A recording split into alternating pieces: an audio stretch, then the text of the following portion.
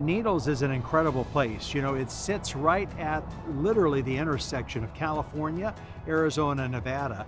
But it's also a very unique place because there are so few providers. Uh, we do have a hospital here, thankfully.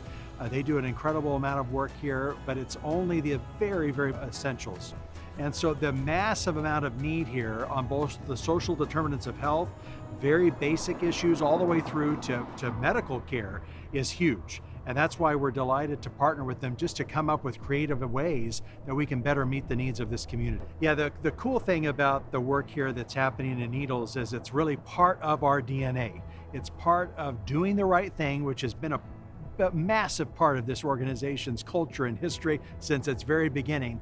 And it connects so perfectly in with our, our mission to heal and inspire the human spirit. And there's no more evidence of, of that kind of work that's happening right here in Needles than the work that IEHP is doing to help community members that are in such dr dramatic needs. And for us to not only help fill those gaps, but really more importantly, bring the community together to learn from one another about ways that we can do that together.